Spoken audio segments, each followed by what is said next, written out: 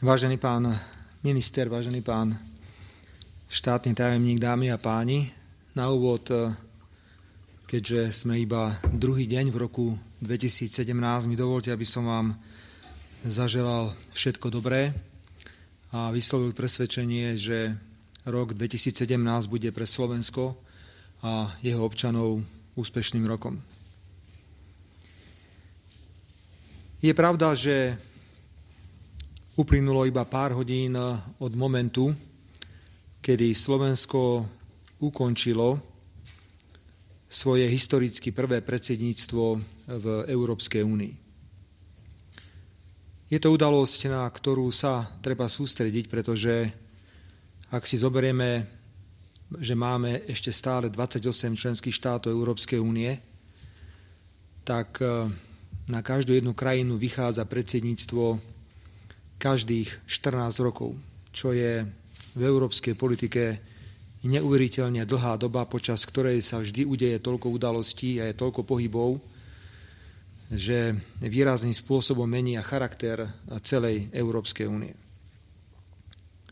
Považujem za správne, že tak v krátkom čase po ukončení slovenského predsedníctva sedíme v tejto zostave a chceme povedať niekoľko slov hodnotiaceho charakteru.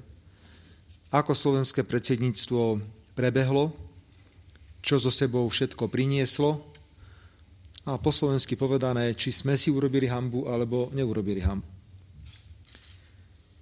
Odmietal som vždy počas predsedníctva, a to dokonca aj k jeho samotnému koncu robiť akékoľvek závery alebo hodnotiace úsudky.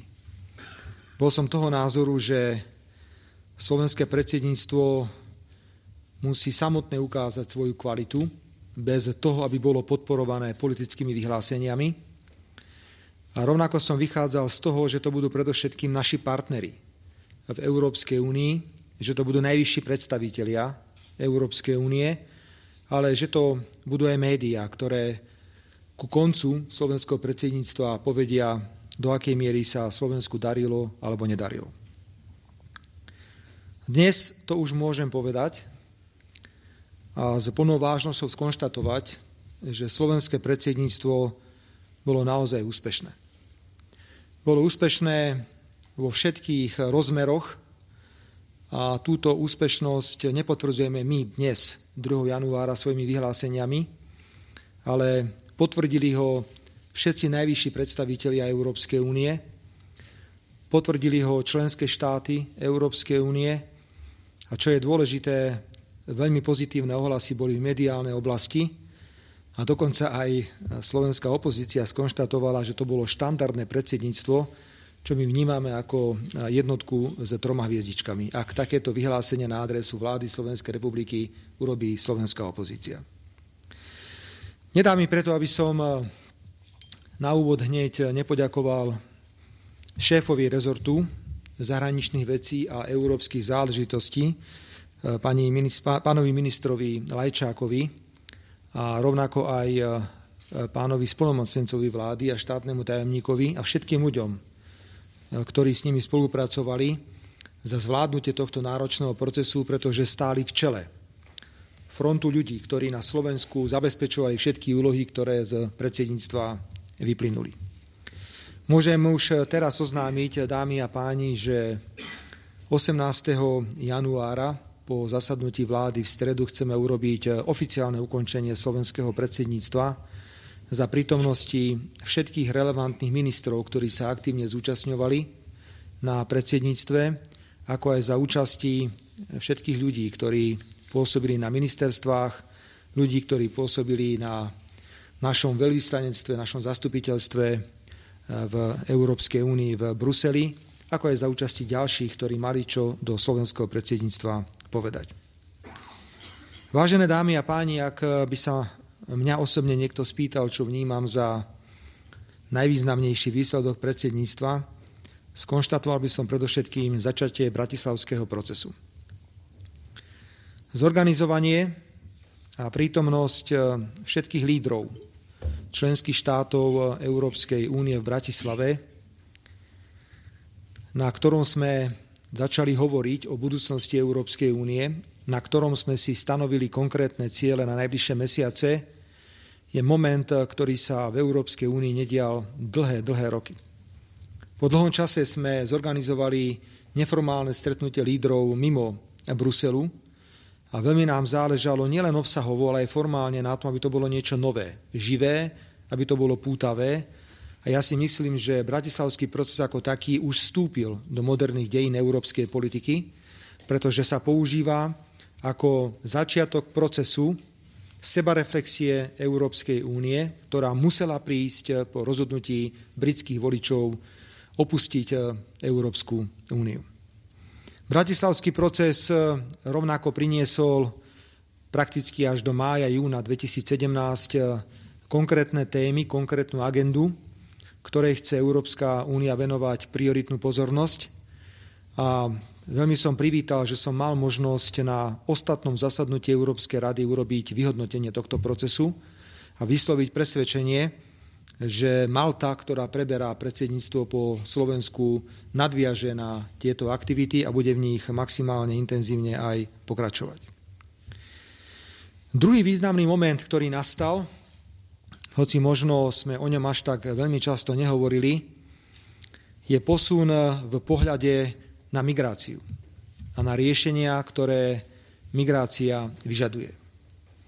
Na začiatku tu boli dva úplne rozdielne tábory so svojimi pohľadmi na migráciu. Jeden tábor, ktorý presadzoval povinnú solidaritu, druhý tábor, ktorý hovoril, že solidarita sa dá vyjadriť aj iným spôsobom ako povinným prijatím určeného počtu migrantov na území konkrétneho štátu.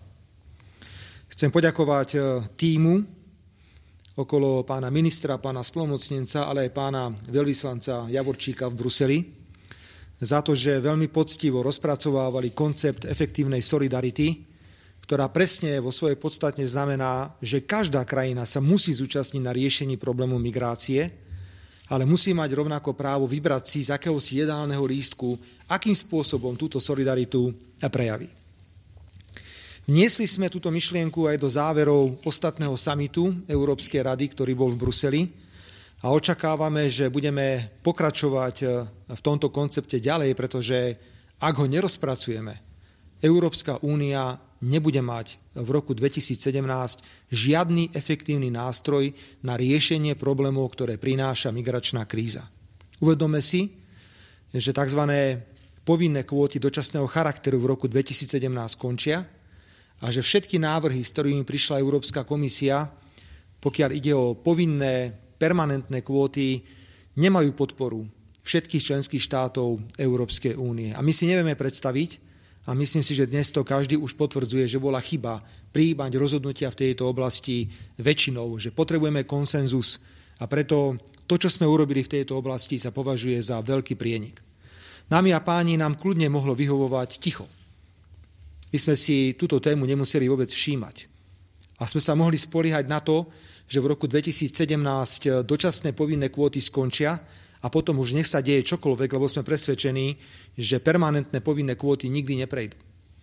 Povedali sme si však, že toto je úloha predsedníctva, aby kládol na stôl aj témy, ktoré sú veľmi náročné, aj témy, pri ktorých si možno niečo vypočujete, nejaké kritické postrehy, ale na konci dňa potvrdzujem, že všetci ocenili prínos tejto myšlienky, ako aj snahy slovenského predsedníctva položiť a priniesť nový koncept nakladania s migračnými otázkami. Bolo by asi málo, keby som sa sústredil iba na bratislavský proces, bratislavský summit, bratislavskú cestu a na koncept efektívnej solidarity vo vzťahu k migrácii. Slovenské predsedníctvo v spolupráci, účinnej spolupráci, tak s Európskou komisiou, ako aj s Európskym parlamentom. A toto chcem zvýrazniť, pretože sme cítili podporu v týchto inštitúciách. Významne pokročilo, pokiaľ ide o rozpočet Európskej únie na rok 2017, pretože tento rozpočet bol schválený v rekordne krátkom čase.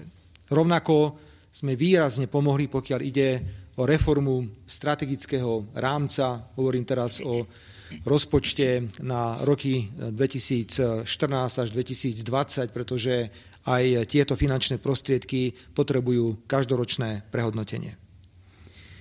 Pamätám sa, ako sme na stretnutí v Bratislave hovorili o potrebe urýchliť ratifikačný proces v prípade Parížskej klimatickej zmluvy.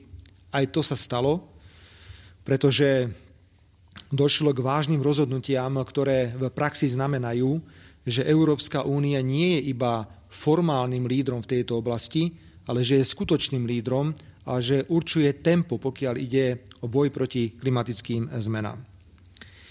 Možno e, pre verejnosť e, Slovensku je to trošku vzdialené, ale všetci si musíme pripomenúť náš koncept, podľa ktorého najlepšia cesta pri riešení migračnej krízy je dôsledná ochrana šengenskej hranice. Opäť to bolo slovenské predsedníctvo, ktoré tlačilo a krátko po tom, čo sme predsedníctvo prevzali, sa efektívne rozbehla Európska pohraničná a pobrežná stráž. Napríklad tým, že išiel konkrétny počet ľudí do Bulharska, ale dnes máme efektívny mechanizmus, ktorý je pripravený v ktoromkoľvek momente pomôcť ktorémukoľvek členskému štátu Európskej únie, ak takúto pomoc potrebuje. Mohol by som samozrejme e, spomenúť aj významnú dohodu o voľnom obchode s Kanadou, ktorá je moderná, ktorá by mohla byť vzorom aj pre iné krajiny, hoci dnes všetci pozeráme s určitým pesimizmom na možnosť e, dosiahnuť podobné dohody v krátkom čase aj s inými krajinami. Vážené dámy a páni, keďže ako predseda vlády zodpovedám aj za finančnú stránku, za rozpočet, za hospodárenie tohto štátu, za mimoriadne pozitívnu správu považujem to, že plánovaný rozpočet na slovenské predsedníctvo vo výške 70 miliónov eur ani zďaleka nebol vyčerpaný. Naopak, došlo k úsporám, ktoré sú dnes vyššie ako 14 miliónov eur. Môžeme teda hovoriť o výdavkoch niekde na úrovni 55-56 miliónov eur, s tým, že kto sledoval naše správanie sa v tejto oblasti, išlo nám o veľmi dobrú štátnu reprezentáciu, išlo nám o vytváranie podmienok na také stretnutia, či už lídrov alebo konkrétnych ministrov, ktoré naplnia aj svoj konkrétny účel. Dámy a páni, kým odozdám slovo pánovi ministrovi a potom pánovi štátnemu tajomníkovi, sedím tu a som spokojný s tým, ako sme zvládli slovenské predsedníctvo. Som spokojný preto, lebo sa môžeme v našej práci oprieť o výsledky, ktoré sme dosiahli. Môžeme sa oprieť o dôveru, a rešpekt, e, ktoré sme získali e, počas našich stretnutí, našich vyjednávaní, ale aj e, našich návrhov, ktoré sme neustále predkladali. Veľmi si predovšetkým vážim tie vyjadrenia na adresu slovenských predstaviteľov, podľa ktorých sme vôbec na prvé miesto nekládli PR stránku. To znamená, nešlo nám v prvom okamihu o to, aby sme sa seba prezentovali. Našou úlohou bolo byť dobrým sprostredkovateľom. Našou úlohou bolo vytvárať dobré prostredie. Našou úlohou bolo vytvárať možno niekedy aj novú atmosféru, ktorú sme nepoznali pri rokovaniach a toto sa nám, myslím, v plnom rozsahu aj podarilo. Preto na začiatku roka chcem povedať, že môžeme byť všetci spoločne pyšní na to, čo Slovensko dosiahlo od 1. júla 2016 do 31.12.2016 a že o tento výsledok sa môžeme nielen oprieť, ale môžeme byť na tento výsledok aj hrdí. Všetkým ešte raz veľká vďaka. Ďakujem pekne. Ďakujem, pán premiér. Nech sa páči, pán minister. Ďakujem pekne, dobrý deň. Takisto mi dovolte v prvom rade, aby som vám všetkým a vašim prostredníctvom aj všetkým občanom Slovenskej republiky zaželal úspešný nový rok 2017 a verme, že to bude rok, v ktorom budú prevládať pozitívne správy. Priznám sa, že keď sme si pripíjali na Silvestra, na príchod nového roku, tak som si uvedomil obrovskú úľavu. A to bol ten pocit zodpovednosti, ktorý sme 6 mesiacov a aj niekoľko mesiacov predtým všetci cítili veľmi silne, z nás spadol. A bol to príjemný pocit. Chcel by som ponúknuť pár čísel a faktov týkajúcich sa nášho predsedníctva. V prvom rade sa zhodujem s tým, čo povedal pán predseda vlády, že e, môžeme byť s našim predsedníctvom spokojní a teraz nehovoríme o našich pocitoch a dojmoch, ale hovoríme o tom, ako naše predsedníctvo vnímajú naši partnery v Európskej únii. Mali sme štyri priority, tieto štyri priority sa ukázali ako aktuálne. Ani dnes by sme na, na, ani jednu z nich nemenili. Pripomeniem, že to bola hospodársky silná Európa, moderný jednotný trh, udržateľná migračná azylová politika a globálne angažovaná Európa.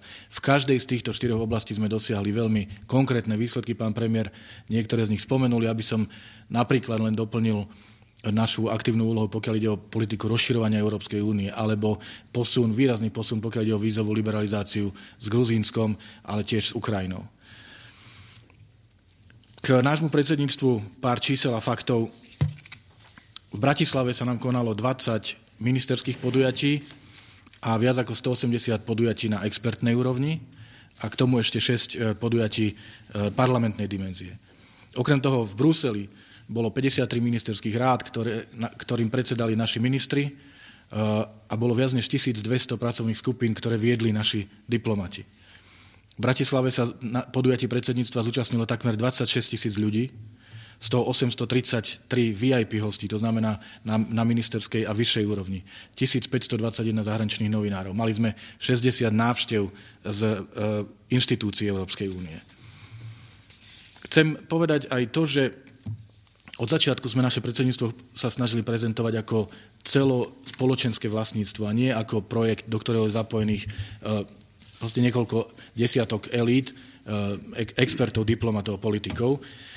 A rád konštatujem, že počas, v súvislosti s našim predsedníctvom sa zhruba v 30 krajinách celého sveta konalo približne 350 prezentačných projektov, z toho asi 250 kultúrnych podujatí. Okrem toho viac ako 200 podujatí na Slovensku, ale aj v zahraničí, získalo záštitu slovenského predsedníctva, to znamená možnosť e, vystupovať pod značkou slovenského predsedníctva. Okrem toho sme predstavili pred začiatkom nášho predsedníctva dotačnú schému, prostredníctvom ktorej sme e, e, podporili 30 projektov v objeme 320 tisíc eur a rád konštatujem, že do aktivít týkajúcich sa nášho predsedníctva sa zapojili všetky kraje, v Slovenskej republiky, že to boli aktivity najrozličnejšieho charakteru od naučno-vzdelávacích, diskusné, športové podujatia a celkové tieto aktivity, ktoré organizovali mimovládne organizácie, akademické, kultúrne a ďalšie združenia, zapojili sa do nich viac ako 450 tisíc občanov Slovenska, čo je, myslím si, veľmi, veľmi slušné zapojenie našich občanov. Niekoľko slov k rozpočtu. Pán premiér už povedal, že od, e, sme sa snažili, aby naše predsedníctvo bolo aj hospodárne a naozaj môžem potvrdiť, že môžeme počítať s úsporou až 14,4 milióna eur z tej čiastky 70 e, miliónov. Je to vďaka tomu, že sa nám podarilo vysúťažiť e, množstvo služieb prostredníctvom verejných obstarávaní za nižšie ceny, ako bolo odhadované, či ide o dopravu, catering, ubytovanie de- delegácií, audiovizuálnu konferenčnú techniku. Ďalší zdroj úspor bol e, to, že sa využívali e, nízkonákladové letecké spoločnosti a lety priamo z Bratislavy a nie lety do Bruselu e, zo Švechatu. Teraz hovorím o tom množstve podujatí na pracovnej úrovni, ktoré sa konali v Bruseli. No a po tretie, efektívne zapojenie sponzorov. To, o čom sme hovorili od začiatku, je to istý experiment na slovenských podmienkach, ale e, ukázal sa ako veľmi úspešný. Spomeniem mikrobusy od Peugeotu, paliva od Slovnaftu, potraviny, minerálky, IT vybavenie od Orange a, a aj niektoré iné sponzorské dary. A to všetko nám umožnilo to, aby sme dosiahli takúto výraznú úsporu rozpočtu. Ja mám dobrý pocit z nášho predsedníctva predovšetkým vďaka tomu, že bolo profesionálne pripravené a profesionálne odvedené, a zase to je hodnotenie našich partnerov, že sme vnímaní a boli sme počas predsedníctva vním, boli vnímaní ako nestranný a úprimný sprostredkovateľ a naozaj ako ten čestný mediátor, ktorý sa snaží hľadať riešenia a pou, posúvať európsku agendu dopredu. Nehrali sme svoju hru, ale hľadali sme riešenia, ktoré sú dobré pre Európsku úniu. Pôsobili sme ako naozajstní Európania a, a pôsobili sme profesionálne. No a musím povedať, že predsedníctvo pre nás bolo obrovskou školou, obrovskou skúsenosťou, veľmi pomohlo prestíži Slovenska, veľmi pomohlo e, našej diplomácii. E, nazbierali sme obrovské skúsenosti, ktoré e, budú pre nás užitočné aj do budúcich rokov. Takže chcem aj z tohto miesta poďakovať všetkým mojim spolupracovníkom, kolegom a všetkým tým, ktorí sa podielali na našom predsedníctve. A to neboli len zamestnanci štátnej správy, ale aj dobrovoľníci, No a nakoniec chcem zaželať veľa úspechov Malte, ktorá prebrala predsedníctvo od nás. Ďakujem pekne. Ďakujem pekne, pán minister. Nech sa páči, pán štátny tajomník. Ďakujem pekne na úvod tiež všetko najlepšie do nového roku. Chcel by som využiť túto príležitosť na dve krátke poznámky k slovenskému predsedníctvu. Poprvé, ako spolomocnenec vlády sa chcem poďakovať všetkým rezortom vlády Slovenskej republiky, pretože predsedníctvo bola tímová práca. Bolo mi potešením pracovať s veľmi profesionálnymi týmami ostatných rezortov vlády Slovenskej republiky, lebo oni sa všetci plnohodnotne podielali na predsedníctve. Spomínam to aj preto, lebo predsedníctvo okrem konkrétnych výsledkov prinieslo aj obrovskú skúsenosť. Je to investícia do ľudí, do expertov, ktorí od 1. januára tohto roku si opäť obliekajú národný dres a budú naplno bojovať za záujmy Slovenskej republiky. Všetci títo ľudia, ktorí mali možnosť e, pol roka byť súčasťou predsedníckého týmu, budú ešte lepšie pripravení bojovať za záujmy Slovenskej republiky v Európskej únii. A to druhé, e, spomeniete si možno, že program Slovenskej republiky bol, e, predsedníctva Slovenskej republiky v Rade Európskej únie bol vystavený na štyroch princípoch. Jeden z nich bolo, že chceme byť predsedníctvom, ktoré prinesie konkrétne výsledky. Spomínam túto oblasť preto, lebo E, nie je jednoduché komunikovať vôbec výsledky a to, čo Európska únia e, prináša a preto som si ja sám e, zvolil 10 bodov, na ktorých chcem povedať, že sú to konkrétne výsledky, ktoré, ktorým občania z môjho pohľadu budú rozumieť a sú to veci, ktoré by bez Európskej únie neboli možné. Tými príkladmi sú poprvé od júla budúceho roku E, sa odstravňuje v mobilnej komunikácii roaming. Ja si myslím, že toto je vynikajúci príklad toho, kde e, bez nejakých zletných slov jednoducho občania budúci rok po návrate z dovolenky už na svojich účtoch nebudú vidieť dodatočné poplatky, keď budú telefonovať, SMS-kovať alebo využívať dáta v zahraničí. A to je vďaka tomu, že slovenské predsedníctvo do, dosiahlo dohodu o veľkoobchodných poplatkoch v roamingu. Po druhé, Viackrát je spomínaný ako úspech slovenského predsedníctva rozpočet na rok 2017. Rozpočet je mimoriadne komplikovaná záležitosť, ale nájdu sa v tom e, občania, okrem iného napríklad aj tým, že Slovenská republika vybojovala na rozpočet 2017 pre farmárov a predovšetkým pre producentov mlieka dodatočných 500 miliónov. Po tretie, prijali sme závery, kde e, komisia dostáva konkrétne zadanie na predloženie nástrojom, nástrojov proti nekalým praktikám v obchode. Čo to znamenajú nekalé praktiky? Okrem iného to, že e, za ten istý produkt, ktorý si kúpuje, alebo e, v tom istom obale dostanete rôzny produkt, keď si ho kúpite na Slovensku alebo 20 km odtiaľto v Rakúsku bolo niekoľko rokov e, blokované. E, takýto pokus bol niekoľko rokov blokovaný v Rade. Nám sa podarilo ešte raz dosiahnuť konkrétne zadanie pre Európsku komisiu. Po štvrté, e, dohoda o frekvenčnom pásme. Na schvál používam takýto zložitý pojem, pretože jednoducho tak, takýto je názov legislatívy. Ale za týmto sa skrýva to, že Európska únia po slovenskom predsedníctve sa môže pustiť do budovania vysokorýchlostného internetu, ktorým bude pokrytá celá Európska únia. Po piaté, digitálna ekonomika. Takisto e, téma, ktorá je mimoriadne dôležitá pre hospodársky rast, vôbec pre konkurencieschopnosť Európskej únie. Okrem iného sme takisto po rokoch dosiahli dohodu o odstránení tzv. geografického blokovania. Ťažký, zložitý názov aby som to povedal v ľudskej reči. Na začiatku predsedníctva mi napísala jedna slovenská občianka, matka cery, ktorá má diabetičku, te, matka cery, ktorá má e, diabetes. Povedala, že by bola veľmi rada, aby slovenské predsedníctvo v oblasti digitálnej ekonomiky odstránilo prekážky, ktoré spôsobujú to, že keď si kupuje lieky priamo v kamen, kamennej predajni v Taliansku, nemá s tým najmenší problém ako občan Slovenskej republiky. Ale keď si tie isté lieky kupuje v Taliansku online, tak ich jednoducho ako občianka Slovenskej republiky nedostane, lebo na obrazovke sa objaví názov, že to je geograficky blokované a toto sú praktické prekážky v eh, digitálnej ekonomike, ktoré okrem iného sa nám podarilo eh, prekonať. Po šieste, modernizácia obchodných nástrojov. Opakujeme to dokola, ale čo je za tým? Za tým je to, že Európska únia sa dokáže oveľa lepšie brániť proti dumpingovým dovozom, napríklad v oceliarskom priemysle. Myslím, že z toho jasne vyplýva, že chránime naše pracovné miesta, pretože vieme, ako dôležitý je oceliarský priemysel pre Európu aj pre Slovensko. Po siedme, boj proti, e, alebo e, je to legislatíva, ktorá rieši ochranu finančných záujmov e, Európskej únie. Tri a pol roka sa bola blokovaná opäť dohoda ehm, medzi členskými ehm, štátmi, ktorá, uloži, ktorá im uloží, aby rovnakým spôsobom definovali trestné činy, ktoré poškodzujú finančné záujmy Európskej únie. Po 8.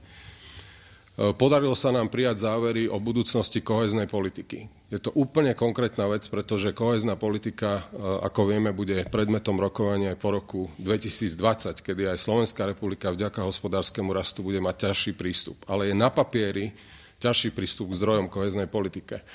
Ale po slovenskom predsedníctve na papieri, že kohezná politika naďalej zostáva najdôležitejším investičným nástrojom Európskej únie. Po deviate, revízia rozpočtu e, do konca roku 2020. Slovenská republika zabezpečila okrem iného to, že budú alokované dodatočné zdroje vo výške 1,2 miliardy eur na boj proti nezamestnanosti mladých. A po desiate, e, v energetickej únii podarilo sa nám e, zásadným spôsobom potlačiť dopredu legislatívu, ktorá zabezpečí bezpečnosť dodávok plynu, okrem iného v krízových situáciách, kedy si budeme vedieť po, uh, už pomôcť navzájom medzi sebou napríklad v regióne Strednej Európy.